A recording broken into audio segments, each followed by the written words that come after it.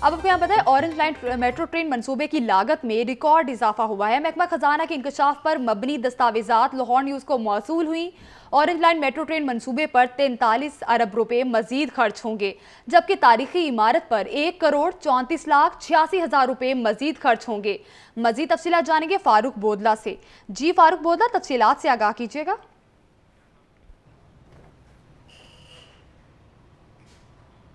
جی جیسا حکومت کا اورنج لائن میٹرو ٹرین بہت بڑا منصوبہ تھا اور یہ منصوبہ بر وقت مکمل نہ ہونے سے اس پر جو اضافی اخراجات ہیں، وہ ان میں بے حد اضافہ ہو گیا ہے اور اس حوالے سے ان جو زائد اخراجات بڑے ہیں، اس کے حوالے سے لاہور نیوز کو محکمہ خزانہ کی دستاویزات موصول ہو چکی ہیں۔ لاہور نیوز کو موصول ہونے والی دستاویزات کے مطابق یہ انکشاف کیا گیا ہے کہ اورنج لائن میٹرو ٹرین کے کی لاگت میں چوالیس ارب ستر کروڑ ترانوے لاکھ روپے سے زیادہ زائد جو ہیں وہ اخراجات آئیں گے. اس حوالے سے یہ بتانا ہے کہ اورنج لائن میٹرو ٹرین کے منصوبے پر تینتالیس ارب روپے جو کہ جو اخراجات ہیں وہ اس سے الگ آئیں گے.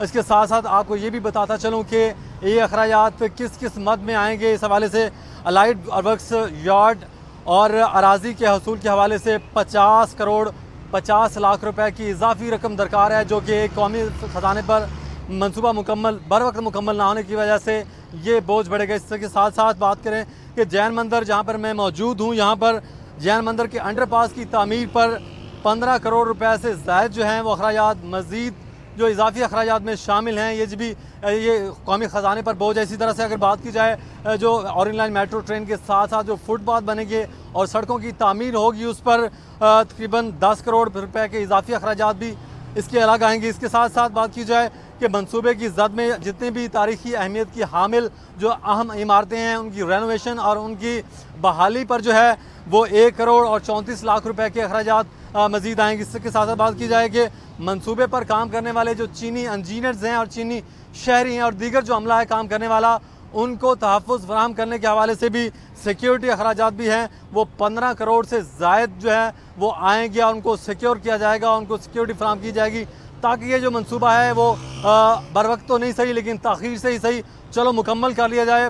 پندرہ کروڑ سے زائد اخراجات ان چینی شہریوں کی سیکیورٹی پر اضافی آئیں گی۔ اس طرح سے اگر بات کی جائے کہ واسطہ این ٹی ڈی سی سوئی گیس اور دیگر جو یوٹیلیٹیز ہیں، ان کی شفٹنگ اور ان کی منتقلی کی منتقلی پر ایک ارب ترپن کروڑ اور اس سے زائد اخراجات مزید آئیں گے جو کہ قومی خزانے پر بوجھ ہے اور محکمہ خزانہ کی جانب سے یہ دستاویزات میں انکشاف کیا گیا ہے کہ منصوبہ بر وقت مکمل نہ ہونے سے تینتالیس کروڑ ارب اور ستر کروڑ سے زائد کے اخراجات جو ہیں وہ آئیں گے اور اس کے بعد ابھی دیکھیں، آگے آگے دیکھیں ہوتا ہے کیا کہ منصوبے پر مزید کتنے اخراجات بڑھتے ہیں ابھی تینتالیس ارب کروڑ سے زائد کا انکشاف لاہور نیوز کی جانب سے کیا گیا ہے۔ جی۔ ٹھیک ہے فاروق بودلہ ہمارے ساتھ رہے گا۔ ہمارے ساتھ ہمارے نمائندہ شیخ زین بھی موجود ہیں۔ جی شیخ زین بتائیے گا اورنج لائن میٹرو ٹرین منصوبے کی لاگت میں ریکارڈ یافتہ اضافہ سامنے آیا ہے۔ اس حوالے سے کچھ دستاویزات بھی موصول ہوئی ہیں۔ اس حوالے سے اپڈیٹ کیجیے گا۔ جی یہ حکومت کی ناقص منصوبہ بندی ہے اور جو میٹرو اورنج ٹرین منصوبہ تخیر کا شکار ہوا اس کی وجہ سے یہ حکومتی خزانے پر بھاری پڑتا جا رہا ہے اور یہ ایک سفید ہاتھی سفید ہاتھی بن چکا ہے۔ اس سلسلے میں میٹرو اورنج ٹرین کا جو پہلا پی سی ون تھا، اس میں مبینہ طور پر جو تبدیلی کی گئی اور جین مندر کے مقام پر جو انڈر پاس بنانے کا فیصلہ کیا گیا ہے، اس رواں مالی سال میں اس کے لیے پندرہ کروڑ روپے مختص کیے گئے ہیں۔ تاہم، اس پورے انڈر پاس کی تعمیر پر ایک ارب ساٹھ کروڑ روپے کی لاگت آئے گی، جو کہ اس سے پہلے پی سی ون میں شامل ہی نہیں تھا۔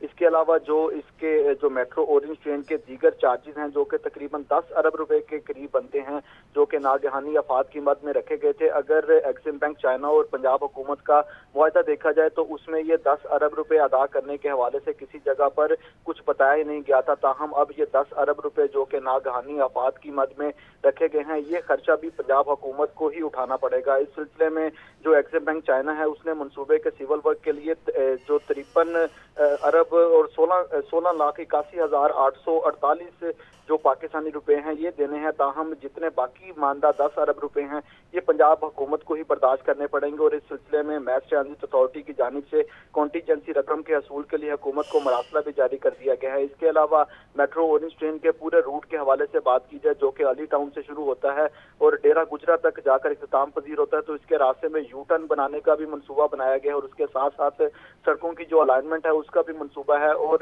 یہ بھی جب پہلا پی سی ون اس کا منظور کروایا گیا تھا، اس میں اس منصوبے کو شامل نہیں کیا گیا تھا تاہم اب تقریباً اٹھاون کروڑ روپے کی جو لاگت ہے، وہ بھی اب حکومت پنجاب کو ہی برداشت کرنی پڑے گی۔ اس طرح چیزیں جو سامنے آ رہی ہیں، اس میں یہ چیز واضح ہے کہ حکومت پنجاب اور جو ایل ڈی اے کا شعبہ انجینئرنگ ہے، ان کی جانب سے ناقص منصوبہ بندی کے باعث یہ منصوبہ سفید ہاتھی بنتا جا رہا ہے اور جو تمام تر اس کے اخراجات ہیں، وہ پنجاب حکومت کو برداشت کرنا پڑے اور اور اس کے ساتھ ساتھ چونکہ یہ دسمبر میں اس کی منصوبے کی ڈیڈ لائن جو ہے اس کو مکمل کرنے کی وہ ختم ہو جائے گی اور پھر اس کے بعد ایگزم بینک چائنا کے ساتھ جو معاہدہ ہوا ہے، اس کے مطابق جو پنجاب حکومت ہے، اس کو ہر روز زیرو اشاریہ زیرو چار فیصد اس جو ٹوٹل رقم ہے، اس کا جرمانہ بھی پے کرنا پڑے گا۔ تو اس طرح ابھی فیوچر میں اگر اس منصوبے کو جلد از جلد مکمل نہیں کیا جاتا، تو اس کی لاگت مزید بڑھنے کا امکان ہے اور ایک سو پینسٹھ ارب روپے کا یہ جو منصوبہ ہے، یہ تقریباً دو سو پچاسی ارب روپے تک پہنچنے کے امکانات ہیں۔ اچھا شیخ زیر ہمارے ساتھ رہے گا۔ ایک بار پھر رخ کریں گے فاروق بودلا کا۔ جی فاروق دیکھا جائے تو کافی بڑی لاگت ہے۔ اس میں اضافہ بھی آگے سامنے آ سکتا ہے۔ تو کس طرح سے پنجاب حکومت اس کو مینج کرے گی؟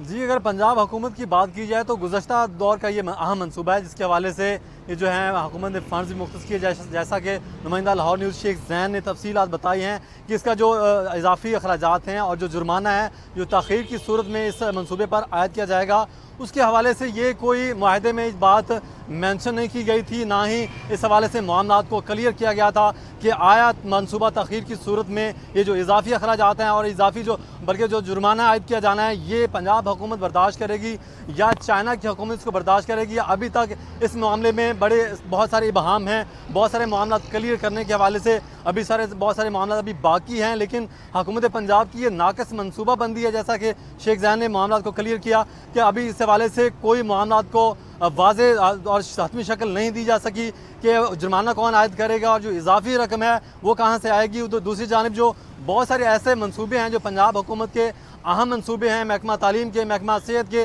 جو کہ فنڈز کی عدم دستیابی کے باعث التوا کا شکار ہیں۔ اور اب یہ نیا جو ہے سلسلہ، یہ سامنے آ چکا ہے کہ قومی جو قومی خزانے پر ایک بہت بڑا ایک بوجھ ڈال دیا گیا کہ تینتالیس ارب سے زائد کے جو اخراجات ہیں، وہ کہاں سے آئیں گے؟ ریونیو کہاں سے جنریٹ کیا جائے گا؟ اور کس طرح سے یہ فنڈز کی عدم دستیابی اور جو بحران کی، جو معاملہ اس کے اس کا ازالہ کیا جائے گا؟ اور کیسے ان منصوبے کو جو ہے فنڈز فراہم کیے جا سکیں گے۔ ابھی تک محکمہ خزانہ کی جانب سے اور محکمہ منصوبہ بندی اور ترقی پنجاب کی جانب سے کوئی واضح طور پر منصوبہ بندی نہیں کی گئی ہے اور نہ ہی یہ بتایا گیا ہے کہ یہ رقم کہاں سے اٹھا کر کہاں لگائی جائے گی؟ یا اس میں سپلیمنٹری گرانٹ دی جائے گی یا چائنا سے ہی مزید اضافی اخراجات مانگے جائیں گے؟